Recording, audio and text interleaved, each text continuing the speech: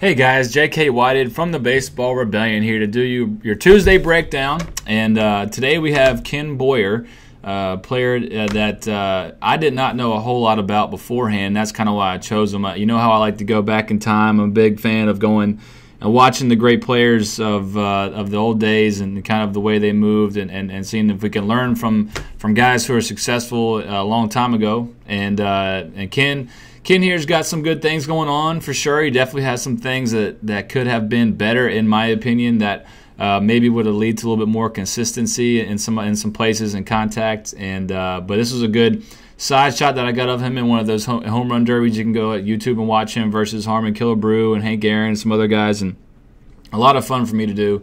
And I hope it's a lot of fun for you guys to watch because I know that uh, you know we don't always uh, watch the guys that played, you know, 40, 50, 60 years ago, and it is fun to do. Um, so here we go, and um, and this is a guy who, you know, taller in nature a little bit here. You know, he's he's got some long legs and he utilizes them here. Nothing too special in the box as far as the stance goes.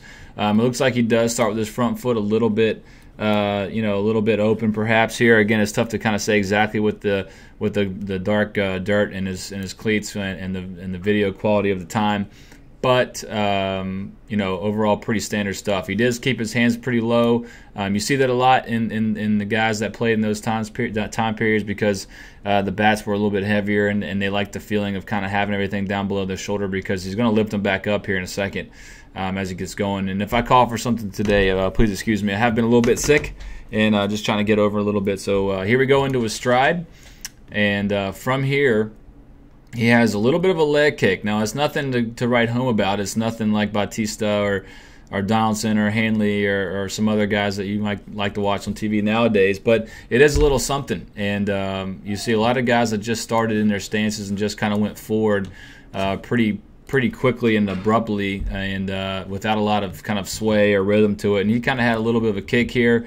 Uh, just kind of sets that back leg on the, in that double inside load, kind of like a pitcher would on a rubber. Uh, but there is no real big push or drive. It's more of a kind of a lift and fall towards the pitcher, which is something that I love to see in guys because you know we know that a big push off the back leg is not what we're looking for. We're trying to really feel gravity and, and our momentum get started with a, a little bit of an angle on that back leg and then just kind of letting yourself fall forward. So really, really interesting job there of a guy who, uh, you know, again, typically you see guys with close stances and just kind of abruptly go forward. So a little bit of a leg lift. You can see his whole body gets involved in the stride. From his his head moves forward, his chest moves forward, his legs move forward, and everything moves forward. You can see through those boxes and. And for coaches out there who are afraid of the head movement, uh, head movement's a good thing at the beginning. You gotta, you have to move your head. name a sport where your head's not moving and you got to be ready to do something, right? I mean, it's just part of the game.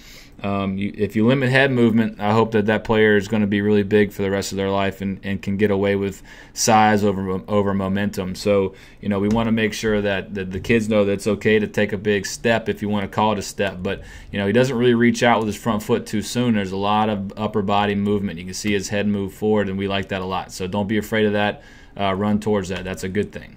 Um, so from there, you see him really utilize the length of the box here. Now, again, I think it's a little bit short. I, I, think he could be a little bit longer in the back leg, but overall, a pretty good job and really of getting to a position that we like to see. And you can see once he kind of decides to swing, you're going to see his belly start to open up. So you can see the middle of his belt buckle there, and you can see as he puts his foot down, it's now starting to rotate open more, which is what you want to see. You're going to see the hips turn out uh, towards the third base side. You can see a long back leg, which I mentioned before. You can see the bend in the front knee. Um, you can see the little bit open front foot here. It's hard to tell exactly, and I don't want to speculate, but it does doesn't look completely closed. If you look at his um, you know his stirrups he's got on here, the stirrups are pointed more towards fair territory, which is great. Um, a lot of kids are taught today to keep that front foot super closed and have it pointed at the other's batter's box and over time, you know, that's just going to wear and tear on that ankle. It's going to wear and tear on the knee, especially for bigger, more explosive guys. It's going to wear and tear on the on the hips, and you never know what that might lead to down the road one day.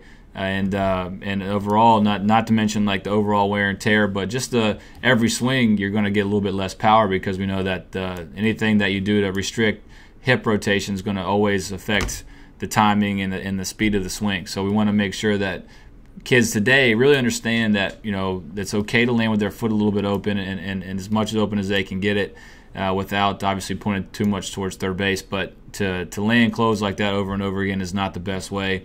Um, which is why you see a lot of ankles that roll out after contact and things like that. So we're going to really teach our guys to get that front side open.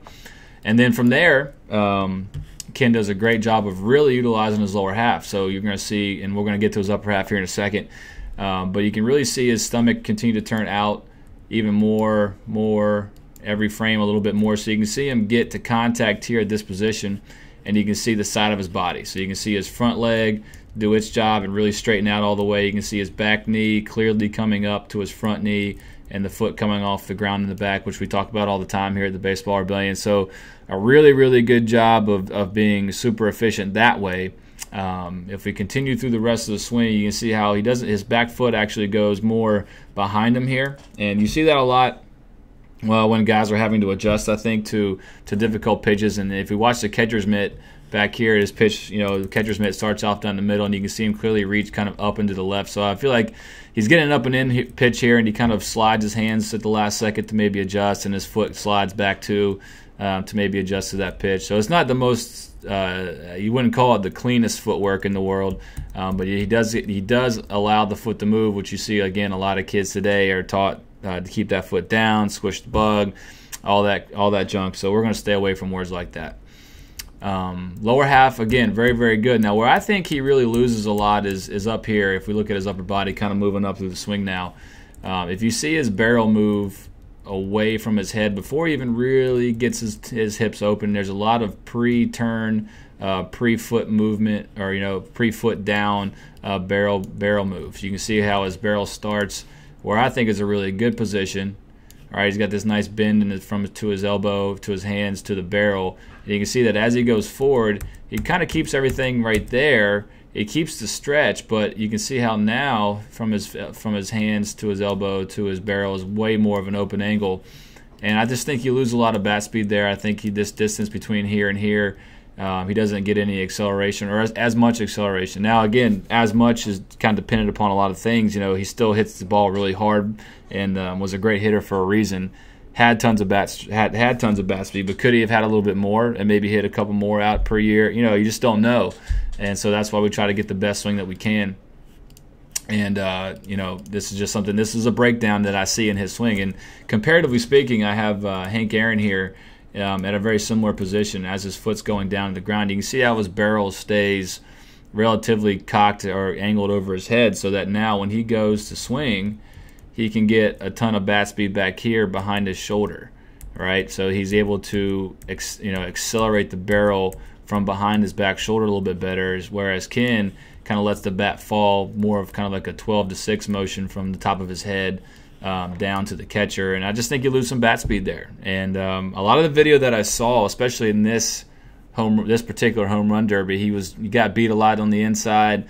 Uh, lots of rollovers, lots of line drives, foul that were hit hard but never could stay fair. And I just don't think that you know when you let the barrel run like that out away from your head we love barrel run and barrel movement and stuff like that but you know when you let everything get away from you so much it gets really long in his front arm anything kind of middle in to inside becomes really hard to get to uh, if you're not one of the best hitters of all time and obviously he was and was able to get the barrel back to the ball more often than not but this is a good example of him really not doing it you can see him kind of get beat uh, the ball goes straight up, uh, and it's a big foul, big foul ball here into the stands. But uh, he tries to bring the barrel back to the contact position, but just fails to do so. And I think a lot of it is that front arm, and his arm's getting really long back here. He moves away from his hands a lot instead of bringing them with him, and kind of that, like we saw um, Hank, and kind of then that cocked uh, arm position. Uh, where his where his barrel stays closer to his body, and so I think that uh, if you're going to give him a knock, that would be it for me. And uh, for the most part, his, his, footwork, like I said, was the same every time. You saw a lot of good back foot action. And again, like like a lot of players at that time period, you saw these really big finishes um, where guys were turning all the way, which is really exciting to see. We try to get all of our guys, right-handers especially, to to finish their swings, to, to utilize the the distance in their swings they can get, and and so they never never never learn how to go slow through the entire swing. Um, you know, he's got the two-handed finish here. Uh, that is not. I don't. We don't like it as much. You know, we want to see that that top hand release so that we can get some stress off the front shoulder. Uh, you do see a lot of kids kind of tugging at that back shoulder, especially when they get really aggressive. So we like to see the one hand finish now. But uh, overall, pretty typical guy for that time period, which is why, you know, I think he stood out.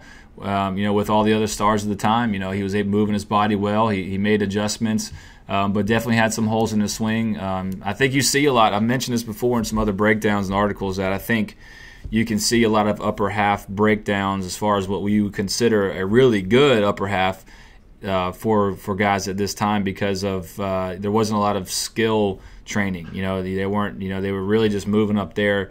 Uh, to hit the ball as hard as they can, and that's why their lower halves were so good. But I think that you know, with the pitching not maybe being as fast as it is today, and and there was just a better way to do it with their upper half, and, and you saw a lot of these kind of crazy elongated arm actions, and and uh, you know, violent finishes, which is good. But you know, I just think that today's today's guys are perhaps better to watch from an upper half standpoint, um, but definitely, definitely from an overall lower half efficiency, I think the lower halves of these guys were way better. So.